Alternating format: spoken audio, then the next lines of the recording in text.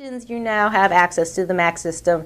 Now go and change your password. So you'll be redirected back to Max and you'll follow the steps to overflowing to the max in the spaces they had in the Capitol. Well, there had to be a great increase in staff. A lot of photographers try to push the contrast to the max in their final output image.